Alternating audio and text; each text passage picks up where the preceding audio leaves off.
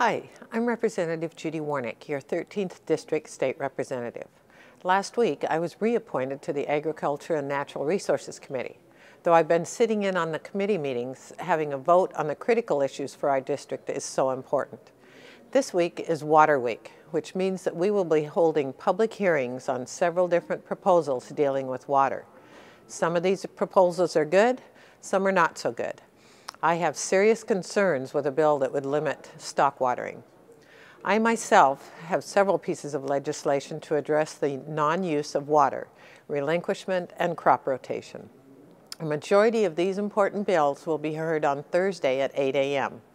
I encourage you to come to Olympia and testify on these proposals if you can. I believe that farmers are the true conservationists, and I want to help them conserve more and be profitable with ample land and water. In the Capital Budget Committee, we are hearing a lot about an economic stimulus package. Even if we receive the monies from the federal government, I'm not sure that these projects will truly stimulate the economy.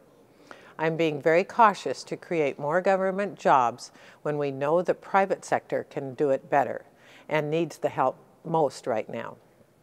Representative Hinkle and I have worked to bring two proposals to the House that are important to our district. The first is concerning boat lifts. We want to get rid, rid of the fees when it's attached to an exempt dock. The second is the open space tax laws. We're looking to add boarding operations to the property tax exemption. As a horse and calf boarder myself, I know growing animals saves open space, just as breeding does. I hope you will contact me with your questions or concerns throughout this busy and challenging session. My door is always open to hear what you think about different issues. Thanks for listening. I'm Representative Judy Warnick.